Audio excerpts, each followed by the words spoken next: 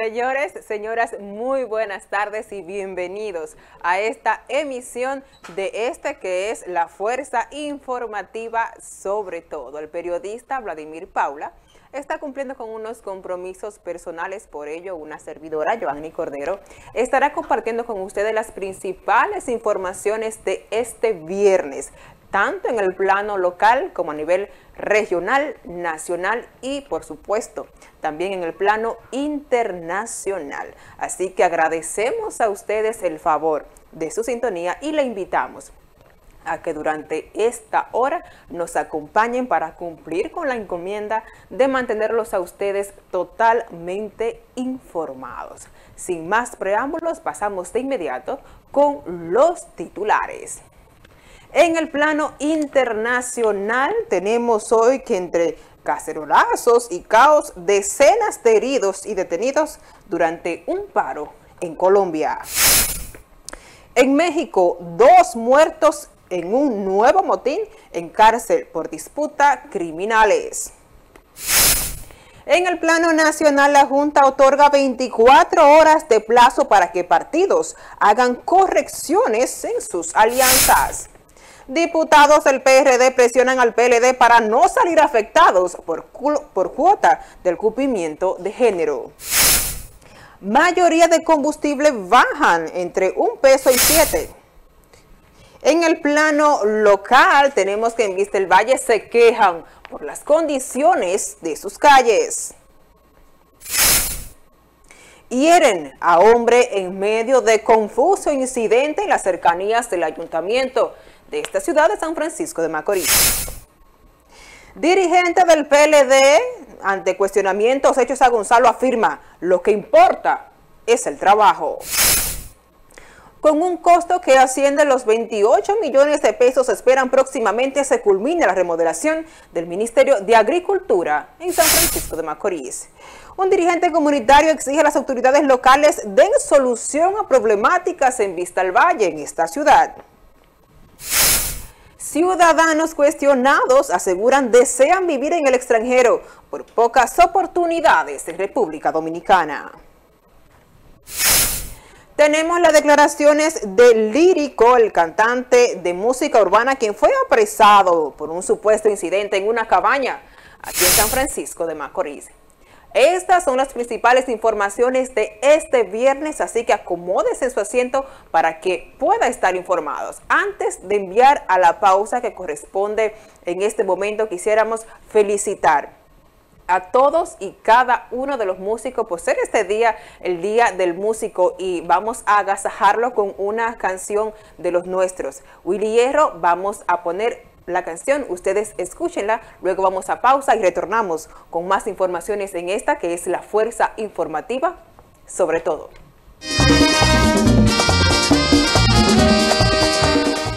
Luego de estas recomendaciones, sí pasamos de inmediato con las noticias en el plano internacional e iniciamos con una quizás no tan halagüeña como quisiéramos nosotros, y es que entre cacerolazo y caos, decenas de heridos y detenidos durante un paro en Colombia. En el marco de la huelga, múltiples protestas se llevan a cabo en Colombia, en la capital de Bogotá. La policía ha dispersado a grupos manifestantes con gases lacrimógenos en la Plaza Bolívar, centro de la ciudad. Los manifestantes salieron a las calles desde distintos puntos de la capital colombiana para mostrar su apoyo al paro nacional.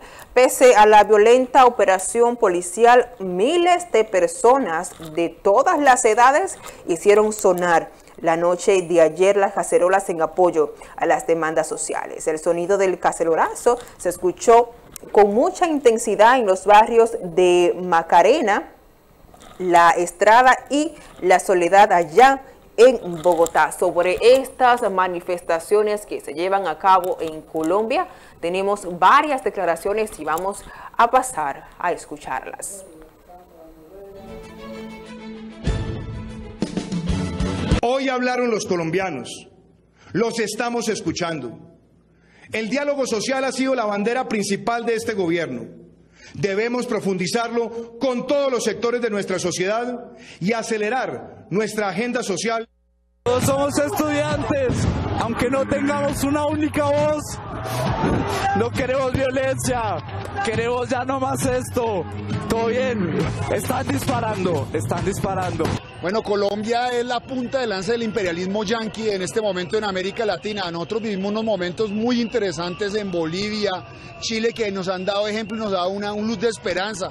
Eh, en Colombia vimos un fascismo, el señor Uribe y sus títeres tienen eh, el gobierno vuelto, el, pueblo colombiano eh, en, la peor crisis en la historia y el pueblo, como te estás dando, está, está despertando. Por la corrupción eh, ya estamos hastiados pues, del gobierno repetitivo de Duque y de Álvaro Uribe Vélez, que pues se han manifestado varios asesinatos, varios falsos nuevamente positivos.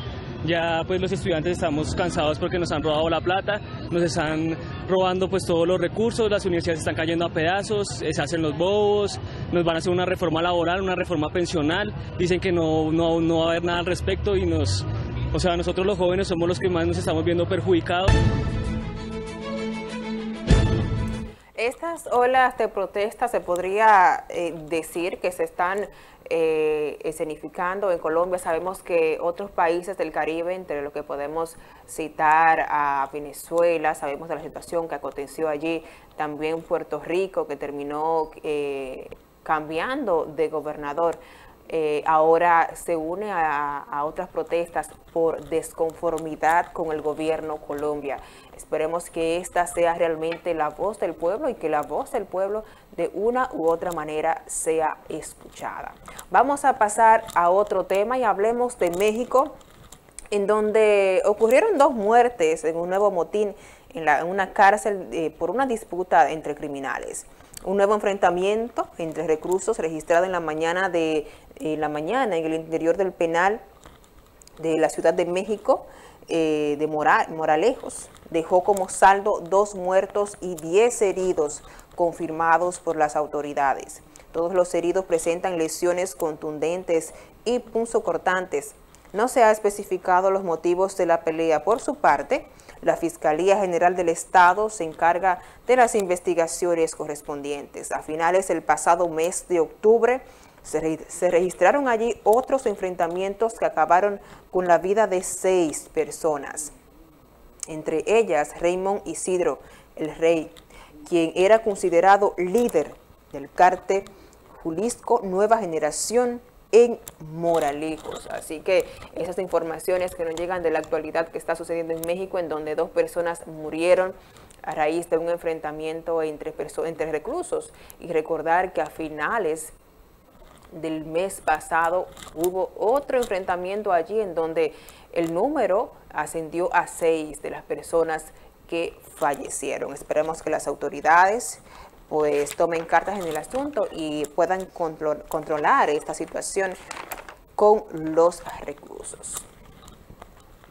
Con estas informaciones cerramos el bloque de las informaciones internacionales para pasar a las nacionales, no sin antes recordarles a ustedes, eh, hablarles de óptica máxima visión, eh, las mejores monturas los lentes de todas las marcas, las de su preferencia.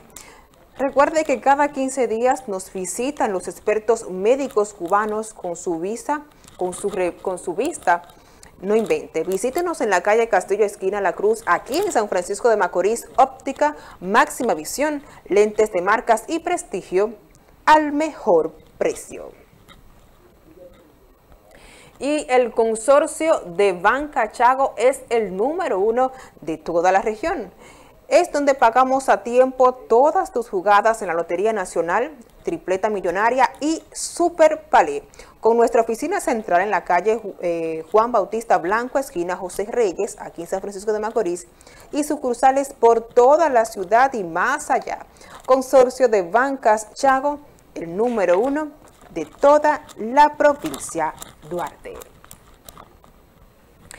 Luego de hablar de las principales informaciones quizás no tan favorables en el plano internacional, pasamos a las nacionales y hablamos de política y es que la Junta otorgó 24 horas de plazo para que partidos hagan correcciones a sus alianzas. Será en la próxima semana cuando la Junta Central Electoral dará a conocer su decisión respecto a las 200 alianzas y funciones eh, depositadas por los distintos partidos políticos a quienes ahora se le ha otorgado un nuevo plazo para que hagan las correcciones que entiendan pertinentes. Los partidos cuentan con un plazo que vence en la tarde para hacer las correcciones de sus alianzas. Vamos a escuchar algunas declaraciones sobre este plazo dado por la Junta.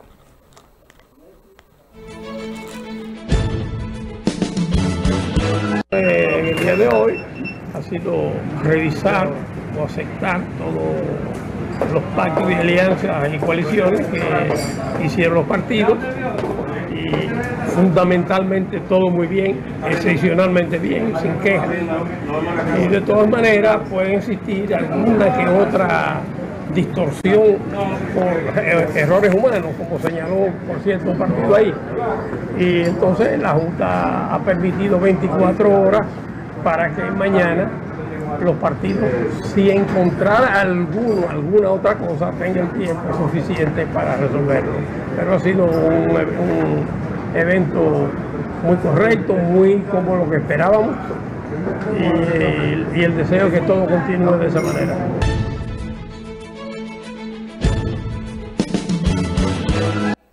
Bueno, los partidos políticos atentos a las correcciones que deben hacer lugar ante estas alianzas. Sabemos que contamos con un amplio número de partidos políticos y movimientos políticos que lamentablemente a final o cuando se acerca la contienda electoral terminan simple y sencillamente aliándose a los partidos tradicionales, a los ya partidos mayoritarios.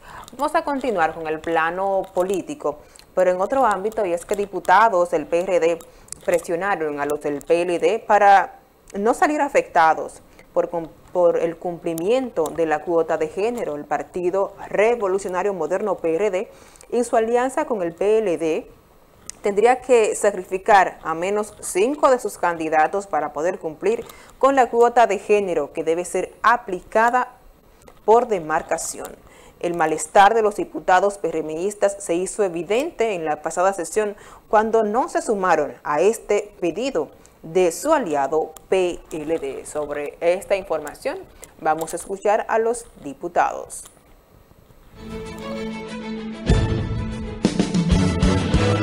Que como algunas reservas del PLD eran para el PRD, ahora el PLD lo único que nos pide a nosotros es que nos sacrifiquemos nosotros y entonces nosotros decimos, de la misma manera que nosotros debemos sacrificarnos, en esa misma medida deben sacrificarse ellos o un poco más. Que se sacrifiquen si quieren seguir aliados, porque esto no se sabe a dónde va a parar. Yo creo que todo tiene solución. Y tanto el señor presidente de la República como Miguel Valga y nuestro representante del PRD y, del PLD están buscando la solución. Nosotros como periodistas lo que podemos es solidarizarnos con sus preocupaciones. Eh, sabemos exactamente que ellos eh, mm, están manejando la situación con su partido.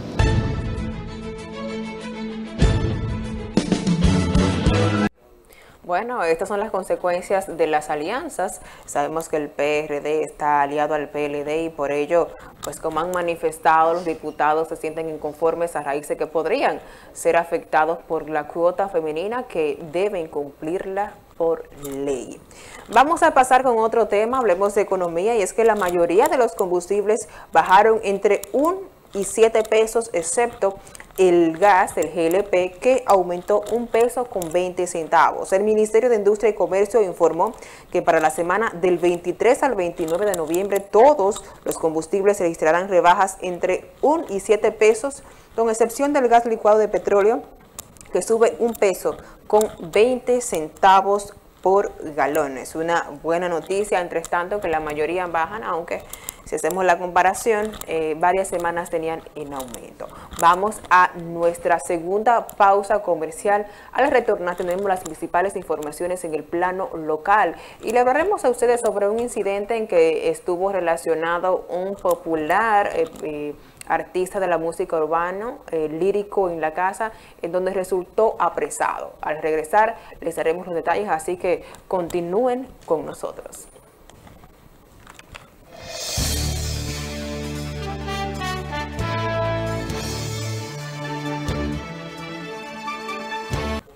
Ahora sí, vamos a pasar con las principales informaciones en el plano local e iniciamos hablando de Vista del Valle, uno de los sectores más grandes de San Francisco de Macorís, en donde se quejan por el mal estado en que se encuentran gran parte de sus calles. Vamos a escuchar las declaraciones. Que supuestamente tiraron un famoso relleno y lo que tiraron fue un bache ahí el ingeniero tenía que fijarse en la calle de Unidad, de Amor allá abajo, para que se diera cuenta qué tipo de relleno fue que tiraron y que eso nunca se ha quitado de ahí. Yo habito ni venté. No es un lodo así. Que no pueda uno pasar ni de pie, ni en vehículo, ni, ni en nada. Vaya a ver qué tipo de ingeniero fue que mandaron para esta obra. Como podemos ver en las imágenes, el mal estado en que se encuentra en la calle del sector Vista al Valle. Bueno, algunas de las calles de Vista al Valle, pues sabemos que otras han sido intervenidas. Los residentes de esta zona solicitan a las autoridades locales o a quien pueda darle solución a esta problemática la rápida intervención.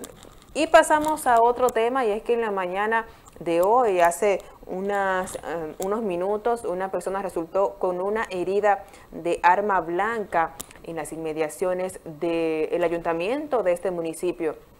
Aclaramos que el altercado nada tuvo que ver con el ayuntamiento municipal, pero se produjo en el área de parqueos del gobierno de esta localidad. De acuerdo a informaciones no oficiales, el agresor respondió a una supuesta vinculación a un robo de un, de un, motor a quien resultó agredido, como pueden observar en las imágenes que aparecen en pantalla. Sobre este altercado tenemos algunas declaraciones, vamos a escucharlas.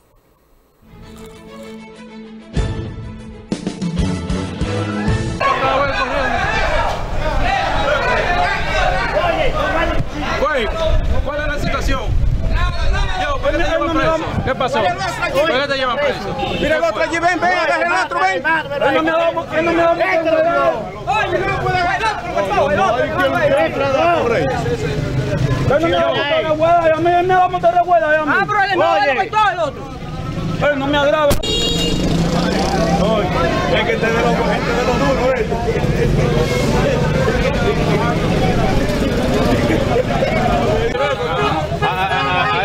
él, lo acusa a ellos. Está bien, ¿Qué fue lo que pasó? Cuéntame aquí, ¿Qué fue lo que pasó? Que el, este muchacho que, el, que cortaron, le robaron un motor. Él lo acusa a ellos. Pero está bien, no debiste adelantarte así tampoco. Te fuiste demasiado rápido. ¿Me dio pique eso? No, no, yo le dije, te aguante, se va con ellos, usted se fue adelante. Yo te tiene problemas por eso. Sí, pero me ¿Cómo lo va a cortar por eso así? Se pasan de fresco. Jimmy, Jimmy, llévalo, llévalo. Va a va a. ¿Cuál fue la...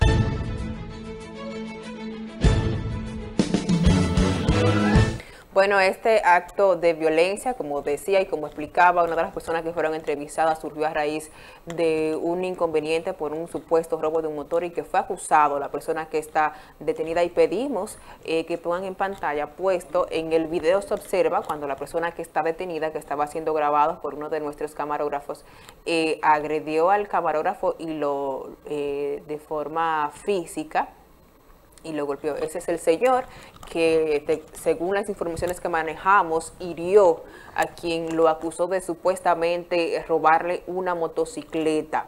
Eh, al momento de ser grabado se, se muestra visiblemente incomodado y agredió a uno de nuestros camarógrafos que estaba simple y sencillamente cumpliendo con su rol el rol de, mantener a ustedes informados tomando las imágenes de este incidente en donde una persona resultó herida. Así que condenamos esta, esta acción y le estaremos dando seguimiento a este caso.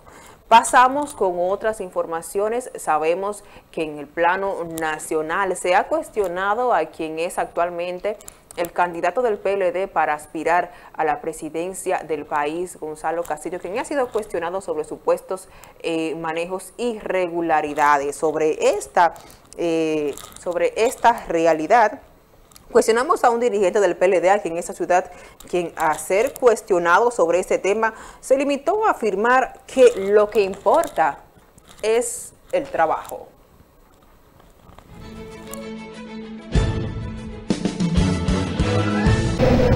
Mira, siempre la parte que está en la oposición tiene que tener motivos para fines de, de hacer vida, hacer vida en la actividad política. Y de hecho que esa denuncia o esas observaciones que ha hecho la licenciada Alicia Ortega tienen importancia, Pero nosotros entendemos que lo más importante que hay en la actividad política es el trabajo. Nosotros estamos trabajando, tenemos un gobierno encabezado por el licenciado Danilo Medina, un gobierno de trabajo. Nosotros seguimos trabajando. La oposición que se encargue de buscar los asuntos que le sirven a ellos también para, para hacer sus actividades. Nosotros nos identificamos con el trabajo. Esa es nuestra manera de hacer política y esa es nuestra manera de... ¿Usted cree que las acusaciones afecten a Gonzalo? Bueno, el señor Gonzalo Castillo solicitó que le auditen y que el que tenga algún tipo de medio y cosas para sustentar una demanda que lo sometan a la justicia. Solicitó a la Comisión de Ética y Disciplina que lo investigue también. De manera que vamos a dejarle esa parte ahí a esos órganos que eso, son parte de su tarea, ¿entiendes? No es tarea nuestra evaluar esa parte ahí. Para eso hay los medios que deben hacer ese tipo de trabajo.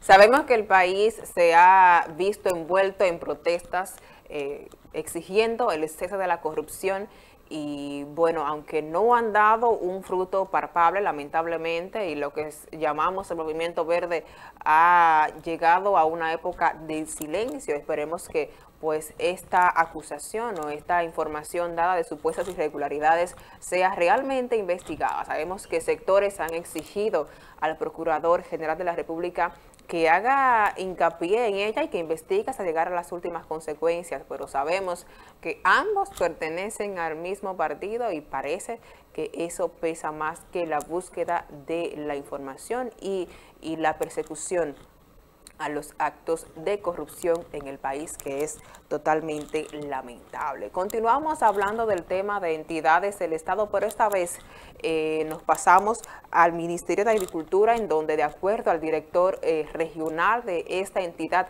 próximamente se va a inaugurar la edificación que ha sido remodelada. Esta edificación, según datos que manejamos, asciende a 28 millones de pesos. Dejaremos que sea Ramón Padilla que ofrezca las informaciones.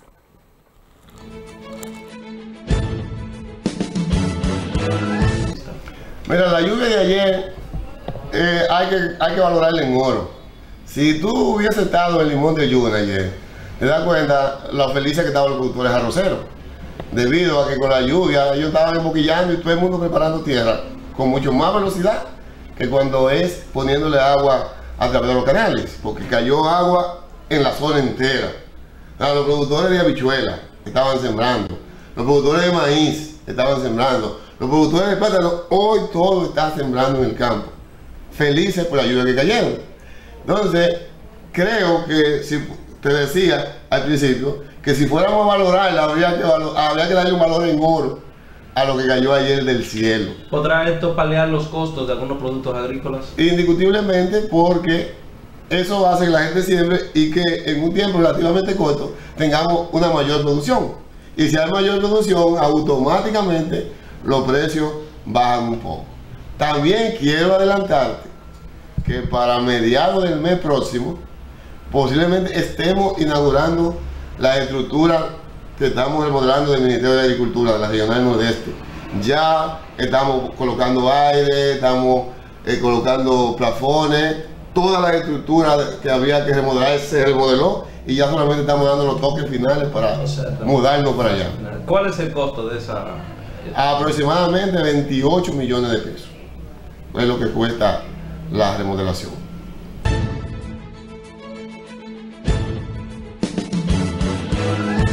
Esas fueron las declaraciones dadas por quien es el director regional del Ministerio de Agricultura que tiene asiento en esta ciudad de San Francisco de Macorís. Esperamos que sus declaraciones en torno a las lluvias, que según él afectan de forma positiva a las siembras, eh, se puedan ver en el costo o en la, en la disminución del costo de las, los rubros del plátano que sabemos que hace apenas unos días costaban 30 pesos la unidad.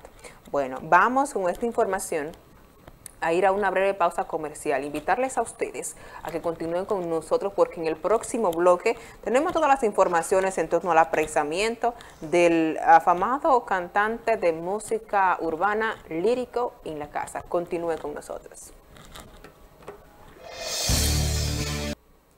Agradecemos a ustedes el favor de su sintonía y vamos a continuar con el desgloso de las principales informaciones de este viernes en esta que es la fuerza informativa sobre todo. Y continuamos este, o iniciamos más bien este bloque con una información dada por, el, por un dirigente comunitario quien exige a las autoridades locales que le den solución a las múltiples problemáticas que afectan a los residentes del sector Vista del Valle.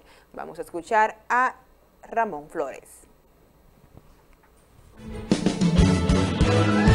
Eh, estamos aquí porque queremos que el nuevo gobernador le preste la debida atención al Gran Vista del Valle, que lo compone más de 20 sectores, un conglomerado enorme que hay tantas precariedades, tantas necesidades, sectores con 30 años de existencia y que todavía no tengan aceras, contenes afirmados, que no tengan eh, ni siquiera el puente sobre el río Vigado que se prometió. Eh, yo quisiera que un ingeniero llame o diga ahorita por el WhatsApp. Esto que, estamos, viendo acá, esto que estamos viendo acá, estas imágenes. Sí, gracias. Eh, esa parte ahí que estamos viendo es las cañadas, zanjas que tenemos, que hay un problema serio ahí que INAPA y el gobierno central deben intervenir porque tú sabes que no tenemos sistema cloacal, que es otra necesidad 1-1. Eh, uno, en Vista Valle. En Gran Vista Valle no hay sistema cloacal.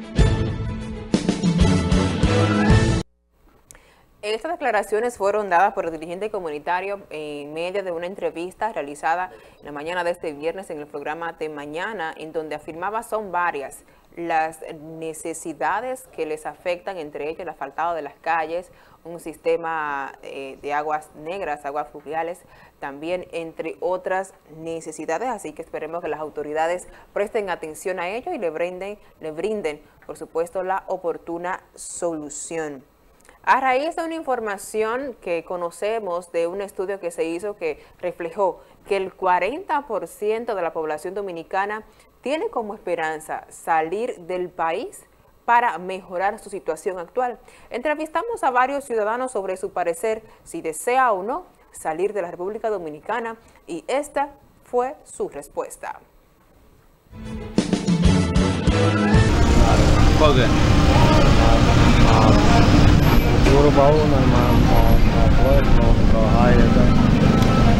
He oído eso que están quieren yo no me quiero ir, yo, estoy bien aquí. Estoy bien. Yo hasta ahora no quiero irme por hablar con nada. Yo me siento bien aquí. Todo Si gana el PLD otra vez, sí me voy. Me de pero así. Ay, pero la pregunta es hasta un poco como capciosa, vamos a decir, porque ¿cómo está el país? ¿De mal es peor? Si siguen esta gente aquí, dime. Eh, no.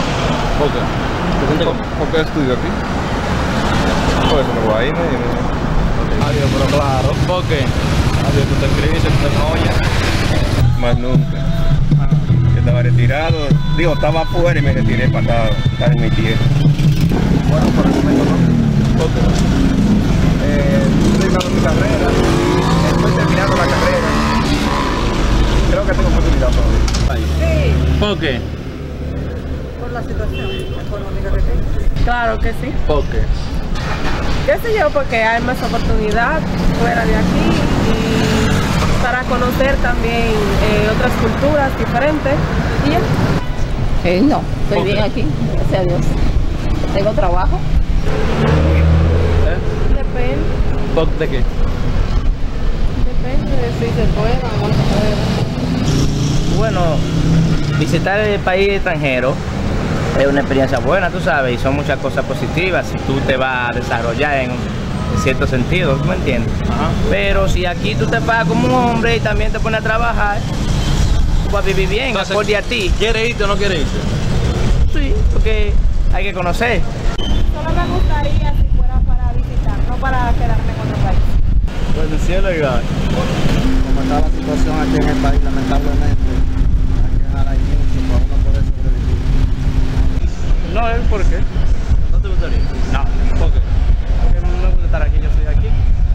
¿A usted le gustaría irse del país? Adiós, ¿cómo que yo me quiero ir para ahí? Claro.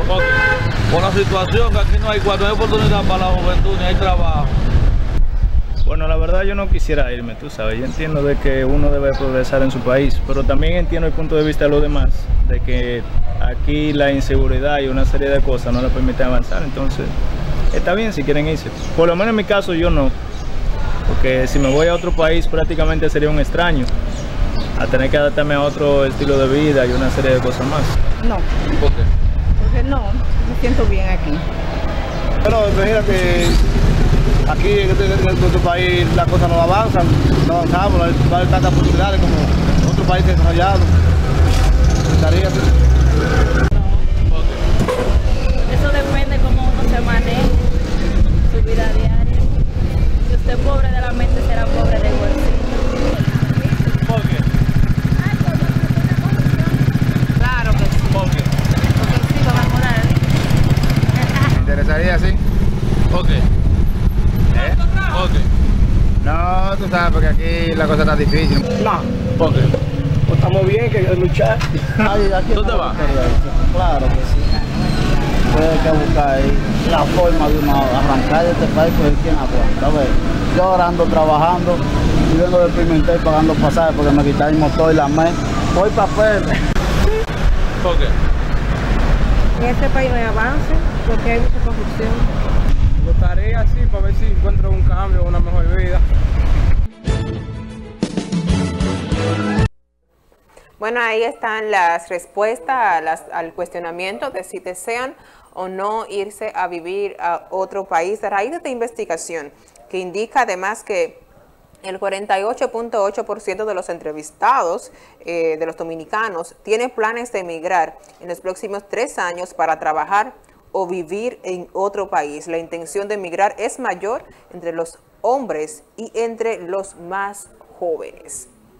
Ahora sí vamos a pasar con una información que ha, desde que ocurrió ha circulado en el plano nacional también y es el apresamiento de quien es un popular cantante de música urbana, Alvin Joel Abreu, mejor conocido como Lírico en la Casa. Apresan al cantante urbano lírico tras supuesto incidente en Cabaña, aquí en San Francisco de Macorís. Vamos a escuchar sus declaraciones. Pues explica lo que fue lo que sucedió ¿Eh? ya. Explica lo que fue lo que No, sucedió. mire, míreme el cuello. Fue que me agarran y me, me entran a golpe y yo estaba ahí defendiendo a una persona y ya por eso yo estoy detenido. ¿Y por qué, te, por qué te traen aquí a cuartel? ¿Ah? ¿Por qué te traen aquí a cuartel? Porque yo estaba en el lugar de los hechos. ¿Qué hacías tú ahí en ese momento? ¿Eh? ¿Qué ustedes? Con mi esposa. ¿Con tu esposa? Sí. ¿En una cabañera que estaban? ¿Eh? ¿En una cabañera que estaban ustedes? ¿A dónde? ¿En una cabaña? No, no, Se no, dice que se fue una discusión entre dos mujeres y por eso fue que, se armó el lío en la cabaña. No, no fue que se armó una discusión. En realidad nosotros estábamos en familia ahí, pero hubo un malentendido. En el cual la gente lo malinterpretó y agarraron y, y llamaron gente, la policía. y ¿Cuál se-? Se armó un chinche. ¿Tú no la golpeaste? No, no, déjame darle la cara a la, a a la prensa. Dígame. Entonces tú no la golpeaste a ninguna. ¿A quién? Hay una policía agredida, sí. ¿Quién la golpeó? A una policía. ¿Del increíble? Diablo, pero ustedes la prensa. Que yo le di a una policía. No, no, no, no, no, nada, que haga- me agarran preso. ¿Pero por qué? Normal, y la gente está argumentando cosas que no son normal. Un video, que lo tiren, el video. Entonces, ¿por qué se arma la trifulca entre las mujeres y tú? ¿Qué? Es que yo no sé, yo soy una víctima. Pero usted está preso. ¿Eh? Al, por algún motivo. Y usted me está viendo el cuello a mí, como yo lo tengo. Te agredieron entonces. ¿Eh? Te agredieron mujer. Y usted me está viendo, la cámara me está viendo el cuello a mí. Sí, sí, te estamos dando un ¿Eh? Te estamos, te estamos enfocando. ¿Y usted ha grabado a otra gente que está agredida? No, solamente a ti. Por eso te estamos Ah, pues entonces, Una de las que te acompañaba agredió a una policía de aquí de San Francisco de Macorís. no tengo conocimiento de eso. Solamente eh, te puedo informar a ti que yo estuve arrestado, estoy arrestado por, por estar